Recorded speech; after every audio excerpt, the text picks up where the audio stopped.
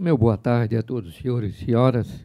Em havendo quórum regimental, declaro aberto a segunda reunião ordinária da segunda sessão legislativa da Comissão de Agricultura e Política Rural da Assembleia Legislativa. Eu quero saudar aqui o deputado Oscar Guti, deputado Neudi Sareta, deputado Napoleão Bernardi, deputado Vondei Weber, eh, membros desta comissão e, e que fazem é, presença online também aqui presente o deputado Oscar Gut. Eu quero, inicialmente, coloco em discussão é, e votação da ata da primeira reunião ordinária, previamente encaminhada aos gabinetes. E não havendo quem queira discutir, coloco em votação. Os deputados favoráveis permaneçam como estão. Aprovado por unanimidade. Ordem do dia. Discussão e votação do parecer relator deputado Oscar Gut, do PL 0178 de 2023. Com a palavra, deputado Oscar Gut. Boa tarde, presidente Atair. Boa tarde a todos os deputados. Sempre é uma honra estar junto com vocês aqui. Cumprimentar a todos aqui presentes. Então, trata-se do de projeto de lei 178 de 2023, de iniciativa do, do, do deputado Marquito, que busca instituir a Semana Estadual do Alimento Orgânico e Agroecológico e alterar o calendário oficial do Estado para incluir a referida semana alusiva no calendário oficial do Estado de Santa Catarina. Assim, da análise cabível, entendo que o projeto de lei quanto busca prestigiar e divulgar as diferentes formas de produção agrícola. Mostra-se revestida, revestido do interesse público e se encontra apto a regular tramitação nesta, neste parlamento, vez que há uma parcela de mercado consumidor a ser atendido, gerando emprego e renda. Desta forma, por considerar presente o interesse da coletividade, voto pela aprovação do projeto de lei número 0178/2003, nos termos da emenda modificativa aprovada na Comissão de Constituição e Justiça. Era isso, senhor presidente. A matéria está em discussão. Coloco em votação os favoráveis permaneçam como estão. Aprovado por unanimidade. Quero aqui também, é, em seguida, é, eu peço para que o Adriano Rotas puder ter a lista dos membros que estão aqui participando, que eu gostaria já de fazer o registro né, desta comissão a todos que nos acompanham online pelos canais de comunicação da, da Assembleia Legislativa. Nós temos aqui também é, o presidente da Câmara de Vereador de Castelo Branco, né, o Ivonei Cadori, que está aqui, que é um produtor rural, que é suinocultor também lá no município. O Vonei é, é Luiz Dalo, que é vereador lá do município São José do Cedro. O Fernando Júlio Vil, que é vereador é, do município de São José do Cedro.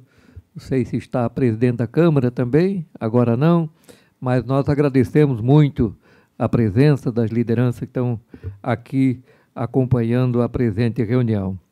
Nós temos um requerimento que foi aprovado aqui, de autoria deste deputado, Altair Silva, é, é, convidando o senhor Natalino Prante, é, que é vereador do município de Maravilha, inclusive vereador mais votado lá do município, que é produtor rural e que é uma liderança que tem como bandeira a defesa do agro é, no Parlamento de Maravilha.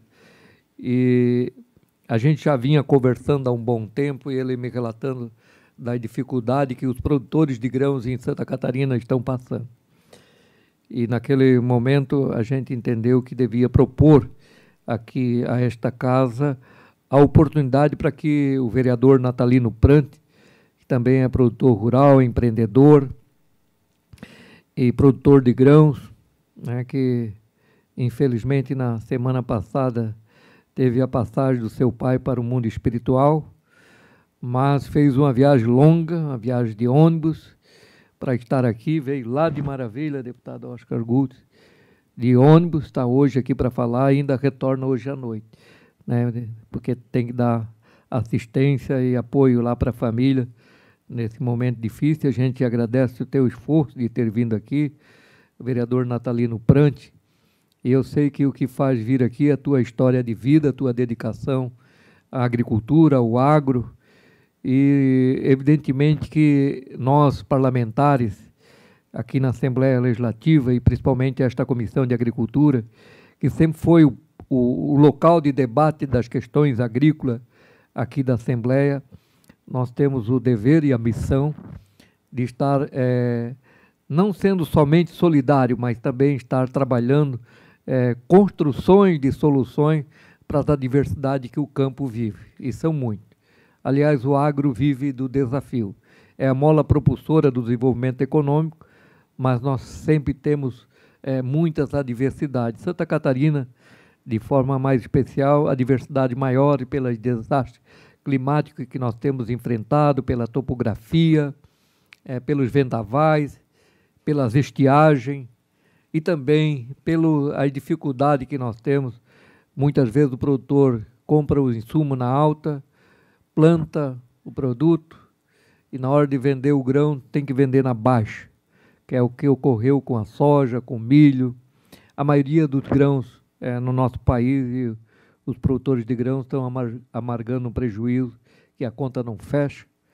E nós temos que, desde já, esta comissão, juntamente com a Frente Parlamentar da Agricultura do Congresso Nacional, já estamos abrindo uma frente de diálogo é, pelas renegociações das dívidas agrícolas. Ela não é uma solução, porque você apenas joga para frente um problema, mas nós também não podemos deixar quem trabalha de escuro a escuro, que não tem sábado, não tem feriado, não tem dia de semana.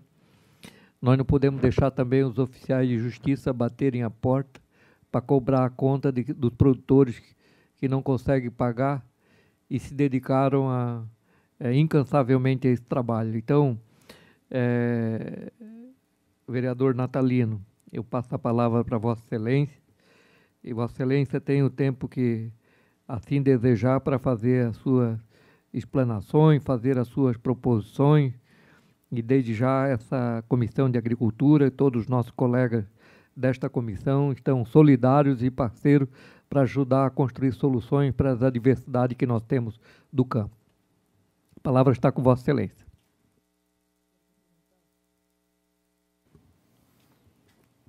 Quero cumprimentar aqui o deputado Alter Silva, presidente da Comissão de Agricultura, colega Oscar Kurtz, deputado estadual também, e quem nos acompanha através das redes sociais.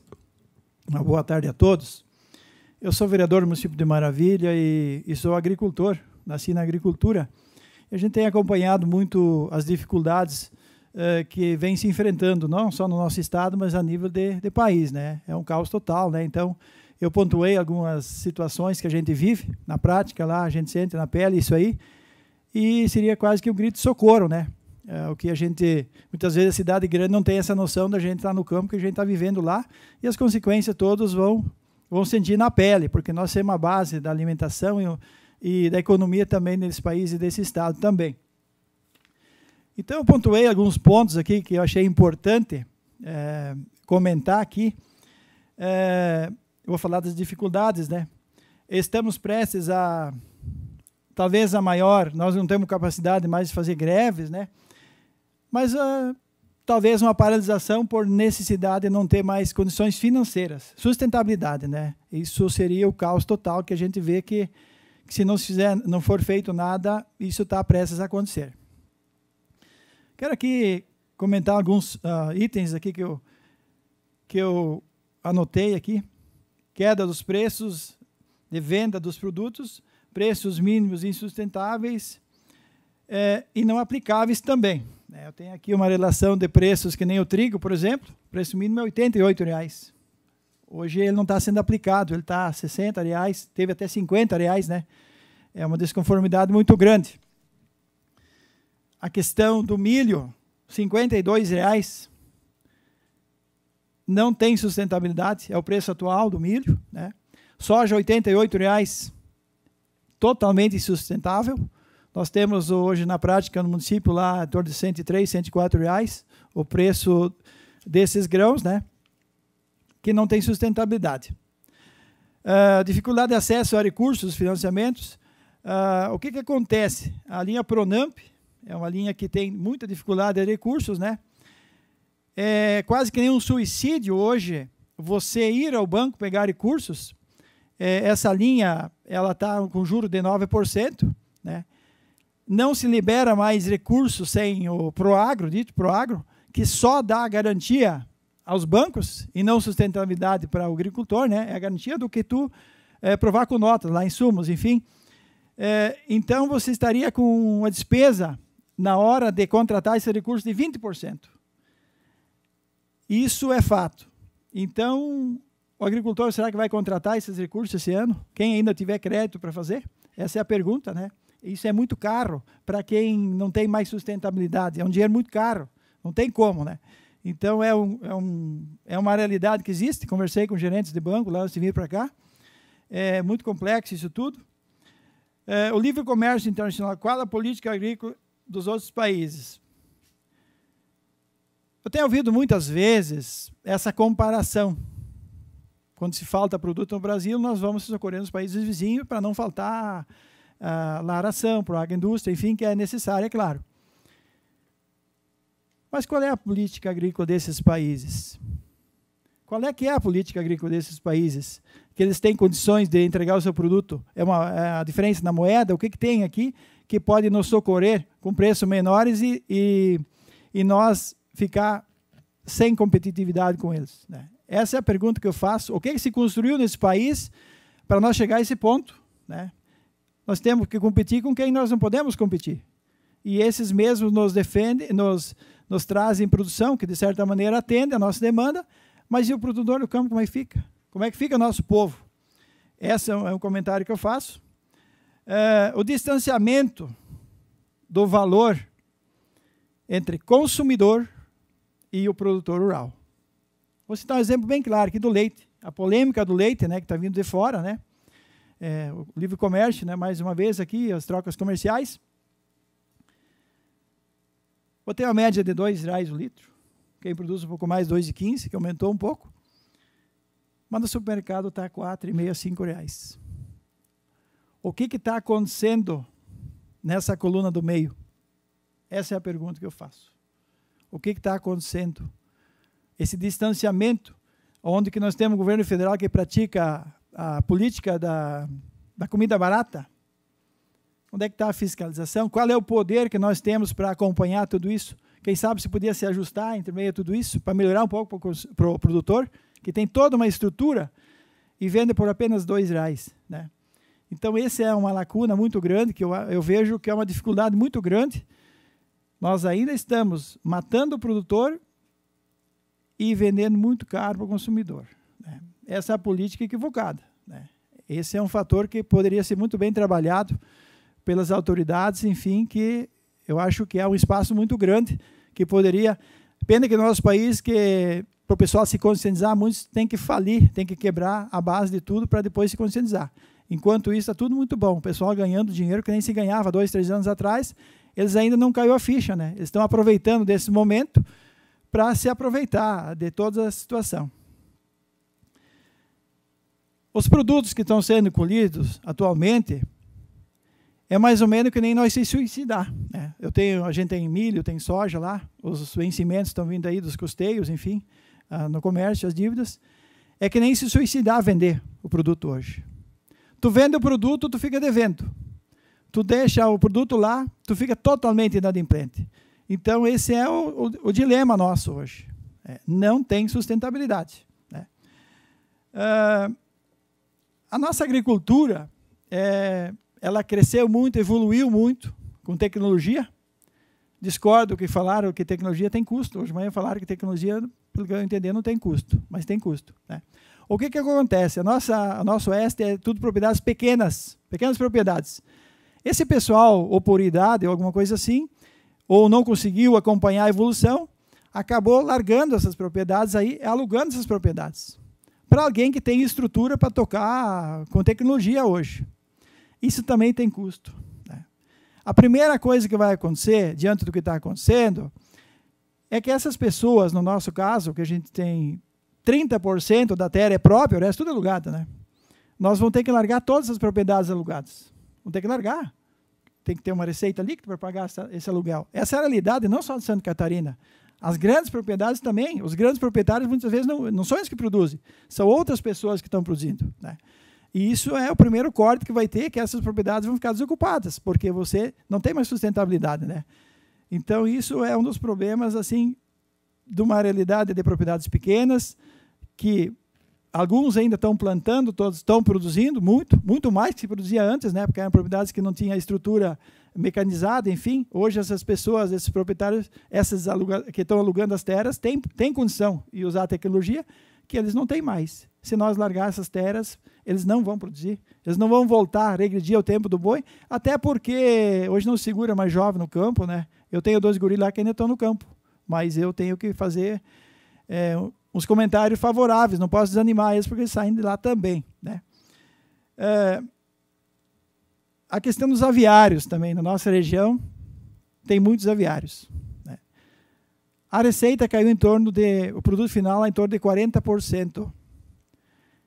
Dois, três municípios vizinhos lá, que são pequenos, um está fechando 10 aviários, outro 15 e outro 12 aviários. E o meu município não, não constatei. Vários aviários também estão fechando. Não tem mais sustentabilidade. Então, essa é a nossa realidade é, se custava de 80 se sobrava de 80 centavos, é, agora sobra apenas 60 centavos. Não, custa 80 centavos e sobra apenas 68. Tá? No vermelho. Ele quer investimentos, inovações. Então o pessoal está parando. É um caos. Eu venho lá do interior aqui para a cidade grande para falar a realidade, que muitos não sabem a realidade. É um caos total. A questão das rodovias também, as nossas SCCs, né? Eu sempre falo que esqueceram de nós agricultores, né? É, as nossas vias quase que intransitáveis, né? E acostamento não tem, não passa nenhuma bicicleta, né? Então é uma das coisas que a gente vem cobrando há muito tempo, melhorias nessas questões por causa de acidentes e tantas outras coisas. A questão dos representantes, as lideranças. Eu vejo muito falar em se falar em cooperativas, e é muito importante tudo isso. Nós precisamos uns dos outros, é uma corrente. Mas equivocadamente eu vejo os comentários que se esquece muitas vezes de quem realmente está no campo. Nós temos que começar a entender a nossa comunidade, o, povo da cidade também vai ter que entender isso. Que o dia que o cara, aquele pessoal que está no interior, no campo, parar, vai parar tudo e vai parar não por vontade, porque nós temos guerreiros lá no campo. Nós vamos parar porque nós sempre honramos aquilo que nossos pais pagar as contas em dia. E nós, infelizmente, talvez 30% não vamos conseguir fazer esse ano. É lamentável, é muito triste isso aí. Então, nós temos também a questão dos efeitos climáticos que também foi um problema muito sério na nossa região. Tivemos anos de preços favoráveis né, para a agricultura em geral e tivemos efeitos climáticos. Quando nós podíamos ter feito um caixa, alguma coisa, nós tivemos dois anos consecutivos de estiagens, né? E o pessoal se pegou desprevenido, né? E hoje nós temos efeitos climáticos e efeitos de preço, falta de preço, insustentáveis, né? Não tem sustentabilidade. É, então, essa é um, é um grito de socorro que a gente está vindo aqui. A gente agradece é, o presidente da Comissão de Agricultura do Estado, da Assembleia aqui. Eu acho que eu vim aqui para plantar uma semente, que nós somos agricultores, e a semente, não me lembro de campanha, que a gente ia plantar uma semente diferente dentro do município, no legislativo lá, e hoje nós temos que semear uma semente muito grande, muito forte, a nível de Estado, a nível do país, porque nós estamos uh, prestes a quebrar o país por falta de sustentabilidade na base, que é a agricultura, que tanto segura, segurou há tantos anos né, o agronegócio, né, deputados, é, todo mundo sabe disso, e eu vejo muito poucos representantes né, brigando por essa causa tão importante. Eu acho que é uma é a palavra certa é uma semente que nós temos que plantar, que vai ter que progredir muito, né? É, o preço mínimo do produto, é, nós não temos mais como, é, são grandes investimentos. A gente não pode mais ficar nessa aventura. A nossa empresa é céu, é céu aberto. Né? Nós não podemos mais ter Proagro que garanta simplesmente o nosso financiamento, que muitas vezes nós nem conseguimos provar as despesas das nossas máquinas né? e a nossa mão de obra, mas sim aquilo que nós compramos, adubo em si, é, é, insumos lá, enfim, é, essas coisas a gente prova estamos garantindo apenas o financiamento. Né?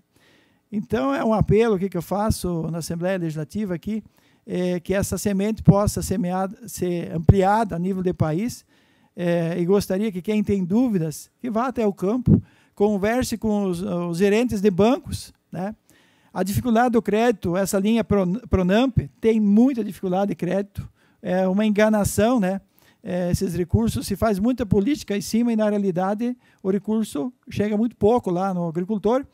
E com essas taxas de juros e o próprio seguro está se tornando uma polêmica, está indo muitas coisas para a justiça, nós não temos mais margem. Né? Qualquer pouco que nós perdemos já inviabiliza o nosso negócio, não tem mais viabilidade. Então está se tornando um problema, um caos total. É, seria mais ou menos nesse sentido meu comentário, e eu agradeço de coração uh, vim de lá para cá pela importância que a gente tem, é, o conhecimento que a gente tem. Cresci, nasci na roça lá e estão produzindo, e sou vereador também. Muito obrigado, vereador Natalino Prante. A palavra está aberta, deputado Mazoco. Boa tarde, presidente, deputado Altair, deputado Oscar, é, os demais deputados que estão nos acompanhando. Saudar aqui de uma forma muito especial ao vereador Natalino, dizer Natalino que eu orgulho de ser vice-presidente da Comissão da Agricultura ao lado do nosso querido amigo deputado Altair, dos demais membros, todos que estão aqui presentes. E realmente aquilo que você falou é uma dificuldade muito grande. Nós aqui trabalhamos de forma incansável em defesa do agro. Tenho minhas raízes no agro, minha família está no agro. E eu vou além, inclusive, daquilo que você tem colocado. Infelizmente, vivemos num Brasil onde o presidente trata o agricultor como fascista, nazista. Isso é muito duro, a gente tem que ouvir. Pessoas que não têm noção do que é um agricultor, que é de segunda a segunda, no sol, na chuva, no frio, no calor, não tem jornada, trabalha quatro da manhã para vender milho a 52 reais. Isso não cobre os custos numa safra de 150 sacas de milho por hectare. Vender leite é R$ 1,80 uma matriz econômica que leva mais de 15 anos para ter uma genética de qualidade e tem que ver essas vaquinhas indo para o açougue. Você falou do milho, falo do, do alho, falo do trigo, falo de todas, de todas a proteína animal. Infelizmente, as pessoas me perguntam aqui, eu sou, vereador, eu sou deputado do meu mandato, mas e Massoco, que se defende? Vamos fazer lei. Lei o Brasil tem de sobra, deputado Altair. Lei nós temos de sobra, tem que terminar metade.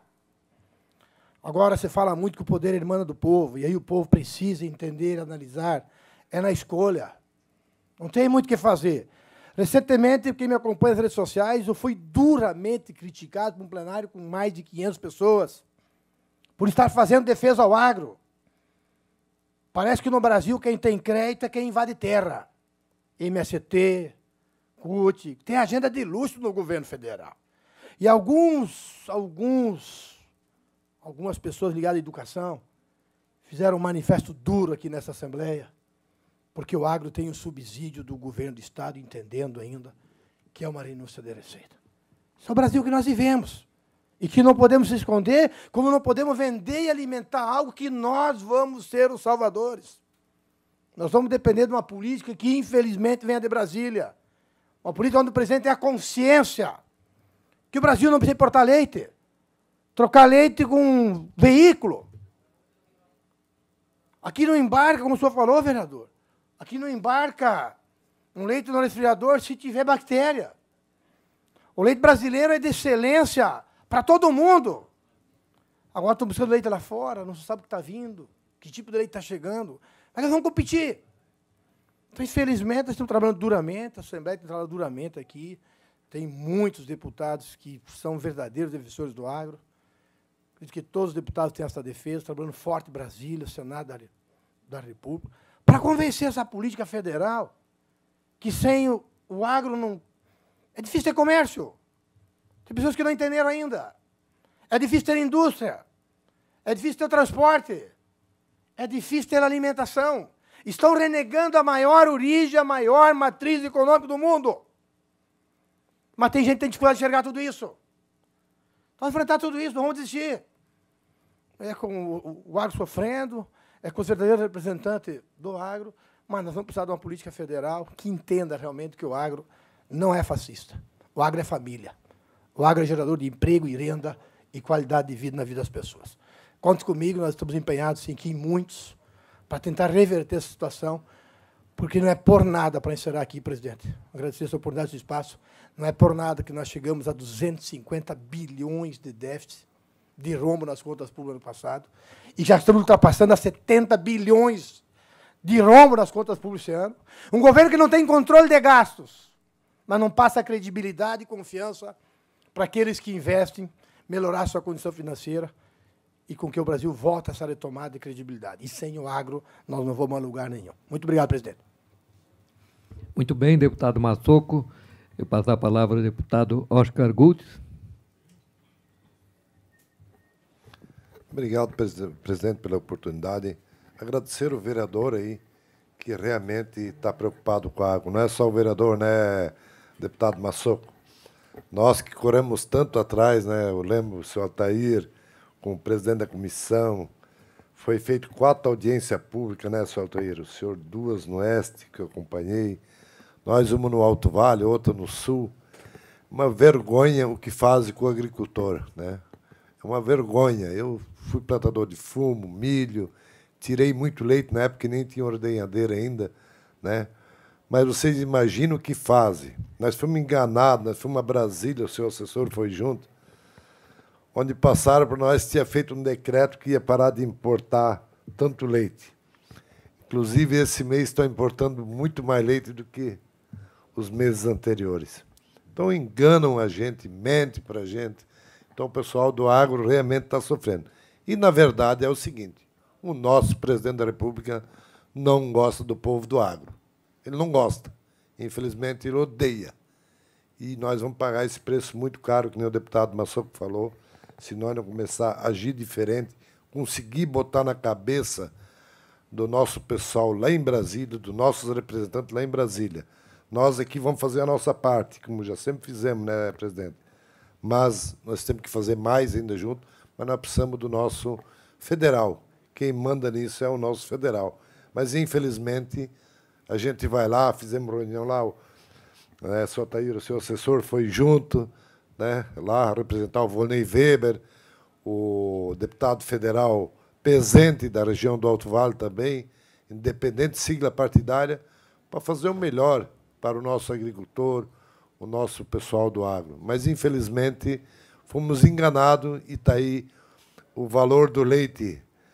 A pessoa que produz leite ganha 1,80, com certeza ele está tirando do suor dele, de outras atividades deles, para tratar seu animal, porque senão ele está no vermelho. Né?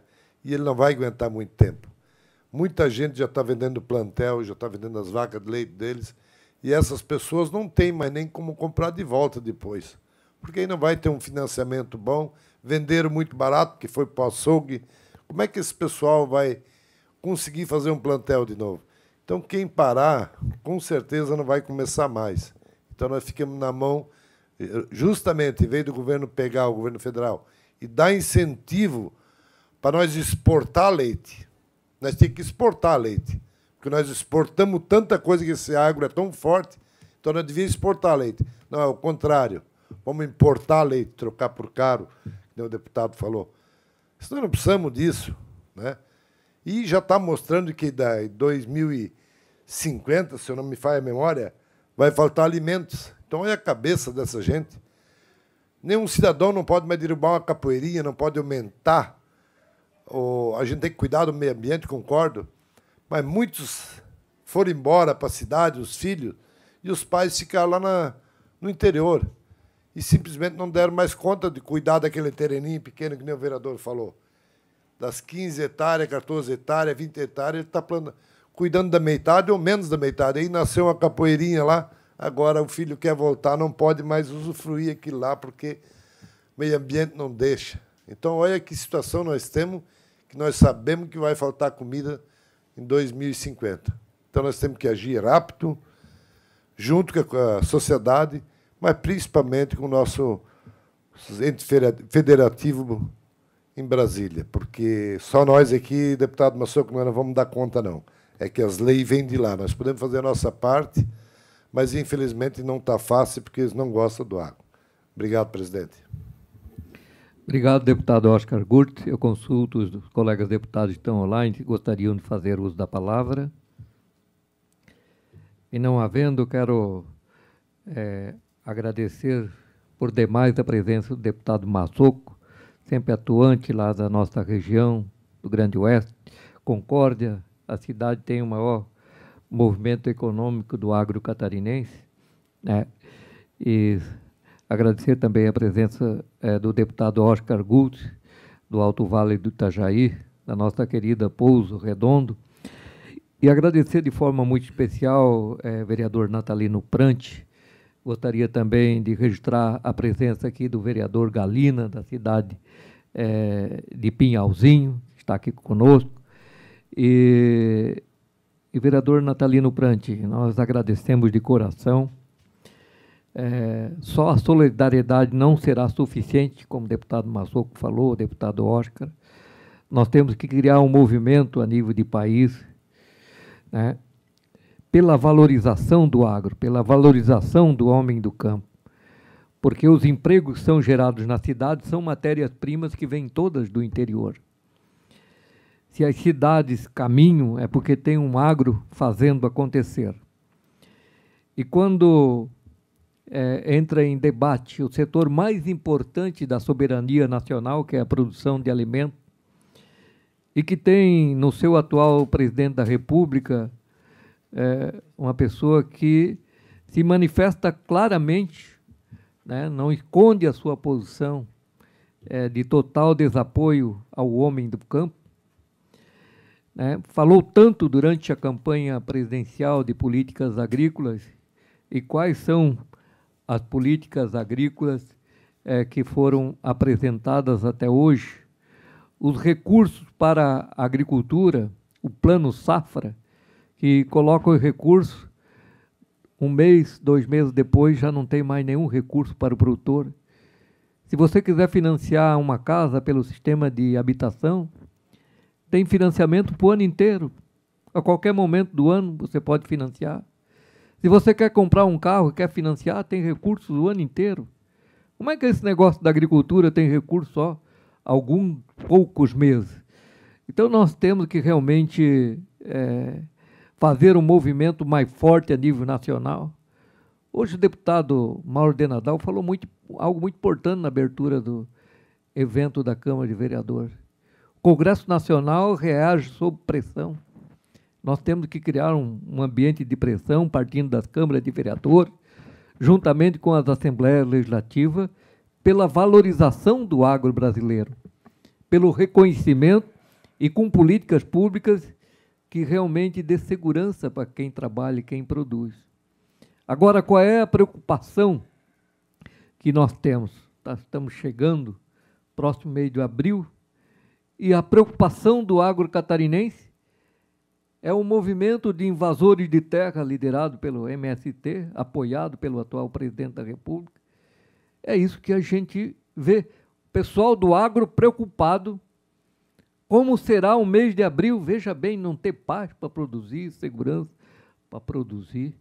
Isso chega uma aberração, um país tão rico, tão abençoado como é o Brasil, e nós temos que passar. Né? Quem trabalha e produz tem que se ajoelhar, tem que se mendigar, para poder produzir alimento. E qual é o reconhecimento que tem? Vereador Natalino, muito obrigado. O senhor passou uma noite inteira de ônibus. E olha que se fosse até eu de ônibus, sou mais baixinho, qualquer lugar lá cabe bem. Mas Vossa Excelência, que tem quase dois metros aí, deve ter sofrido bastante para vir de maravilha aqui. Né? A gente agradece de coração pela tua luta. Esse é o teu DNA, essa é a tua cria, vem de família, vem de chão, né? Não é por causa da dificuldade que você vai abandonar o agro, mas as dificuldades, né? É, até tem um slogan do agro que eu tive a oportunidade de falar hoje com os vereadores, que o, o desafio é o que nos move. Só que o desafio, às vezes, deixa a gente esgotado. Daqui a pouco não tem mais força para se mover, porque você não vê o reconhecimento e as condições para continuar trabalhando. Então, eu agradeço aqui a oportunidade toda, mais uma vez reforço a presença do vereador Cadori, que está aqui prestigiando. Né? Deixo a palavra livre se alguém queira se manifestar antes do encerramento.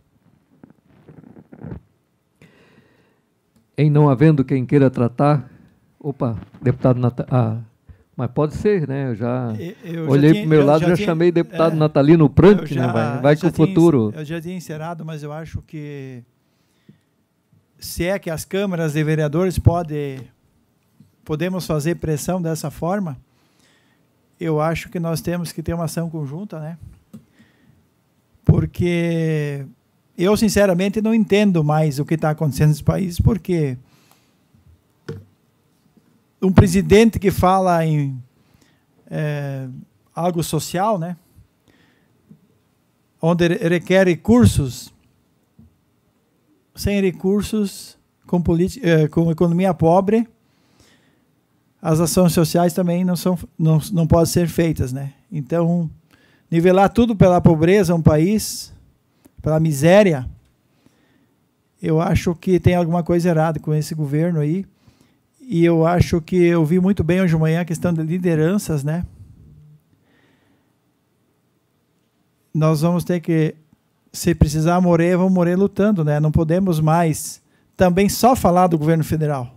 Né? Nós temos que mostrar a nossa força né? do agro.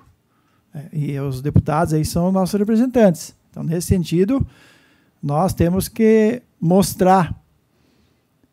Esse povo vai ter que entender a importância que nós temos. Né? Essa importância, o povo tem que vir ao encontro nosso, que, que eles precisam do, do agro. Né? É nesse sentido. Obrigado. Muito obrigado pela oportunidade, presidente da comissão, vice-presidente, deputado. Eu fico grato por poder ter vindo até aqui e me manifestar aquilo que a gente sente lá no campo. Muito obrigado. Muito obrigado. Está encerrada a presente reunião. Agradeço a presença de todos os senhores é, presentes e também online. Muito obrigado, um grande abraço a todos.